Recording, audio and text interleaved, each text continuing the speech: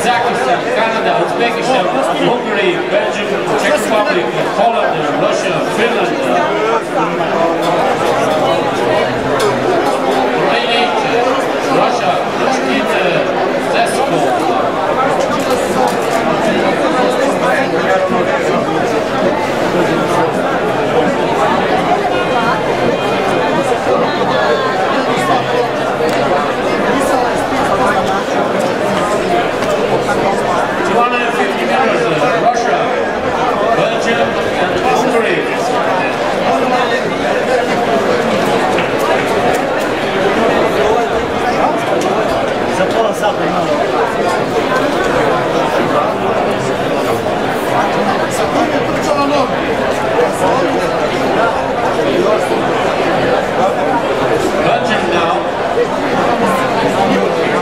We're coming